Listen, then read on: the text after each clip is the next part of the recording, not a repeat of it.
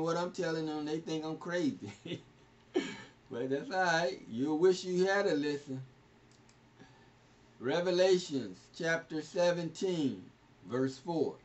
And the woman was arrayed in purple and scarlet color, and decked with gold and precious stones and pearls, having a golden cup in her hand full of abominations and filthiness of her fornication. They're talking about the Catholic Church, the Catholic religion, Babylon. That's the mother of all the, the religions, Catholics. the woman arrayed in purple, the Pope in them.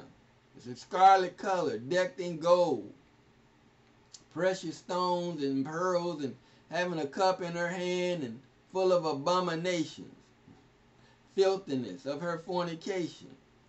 And all of the 12 tribes of Israel, we've been deceived. And we caught up in Babylon, thinking we're serving the Most High in all these different religions. He doesn't know anything about these different religions. He's not a, he's not he doesn't have anything to do with these religions. Yahweh doesn't have anything to do with any religion. He's Yahweh of a people, not a religion. And so that's why we have to come out of all these different religions. And so the Catholic Church is over all of the religions of Babylon. The Catholic Church is Babylon. Hallelujah.